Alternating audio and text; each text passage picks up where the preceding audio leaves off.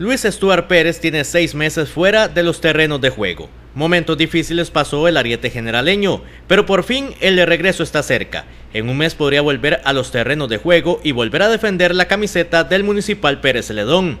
Es duro, es duro. Los que hemos pasado por esto es una, una etapa muy difícil.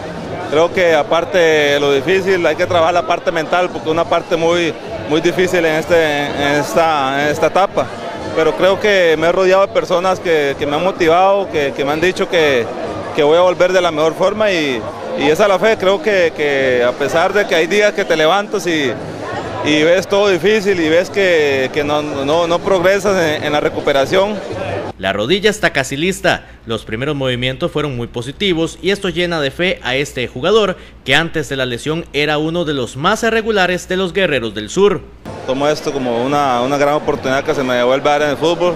Después de haber estado ya, por el momento, llevo cinco meses, ya la, espera son seis meses y como usted dice, estoy a un mes que, de ya volver a, integrarme al equipo. Creo que estoy muy feliz con, con volver, con que la rodilla me responde de la mejor forma por los trabajos que he estado haciendo y creo que, que ese es el camino que, que me motiva, que, a pesar de todos los trabajos que hago me siento bien. Pero mientras uno está a punto de regresar, otro está todavía en muletas y a la espera de conocer cuánto tiempo estará fuera.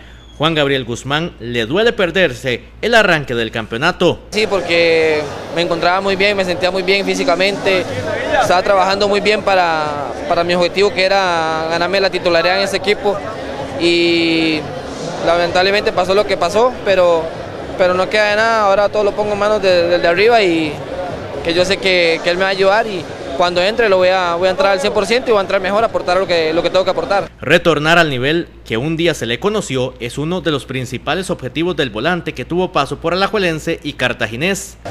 Si lo tomamos así, todo el mundo tenemos revanchas, ¿verdad? entre nosotros mismos creo que, que mi revancha ahora es, ser el, Guzmán que era antes, eh, ayudar, aportar, este, hacer goles, que, es, lo, bonito del, fútbol.